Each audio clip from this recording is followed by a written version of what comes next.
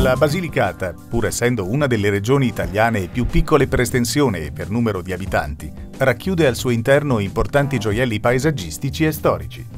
Affacciata su due mari, lo Ionio ed il Tirreno, è prevalentemente una regione collinare e montuosa che offre panorami incontaminati e selvaggi.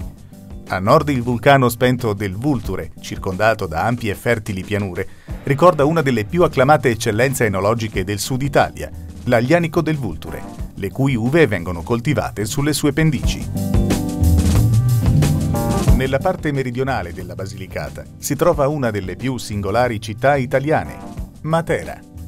Questo gioiello incastonato nella pietra, dichiarato patrimonio dell'umanità dall'UNESCO, meta di un incessante pellegrinaggio di turisti provenienti da tutto il mondo, si affaccia su un profondo burrone disegnato nei millenni dal torrente Gravina.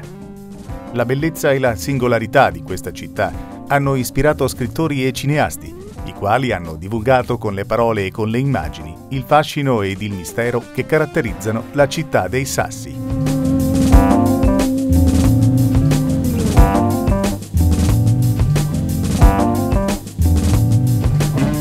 L'antica osteria Marconi, sosta golosa odierna che si trova a Potenza, capoluogo della Basilicata, presenta nella sua cucina la storia di questa terra attraverso la proposta dei suoi prodotti e dei suoi piatti più tipici.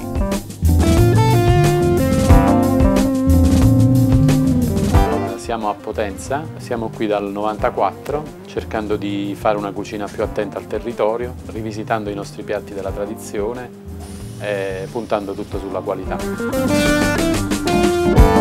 Si parte dalla, dai prodotti del territorio sicuramente, usiamo al 90%, forse anche di più, solo prodotti della regione, tutti i prodotti di eccellenza. Partendo da questi prodotti cerchiamo di fare una cucina che è legata alla tradizione, ehm, magari prendendo spunto dalle ricette tradizionali, però rivisitata in modo moderno, sia come cotture che come presentazioni, eccetera. Noi cambiamo la, la, carta molto spesso, in base alle stagioni, ai prodotti, eccetera. Comunque un piatto che non esce quasi mai dalla carta è un piatto che eh, prende spunto dal soffritto di agnello, che sono le interiora di agnello, che vengono soffritte con del pomodoro, eccetera, e lo proponiamo con eh, una pasta nostra tradizionale, che sono le orecchiette.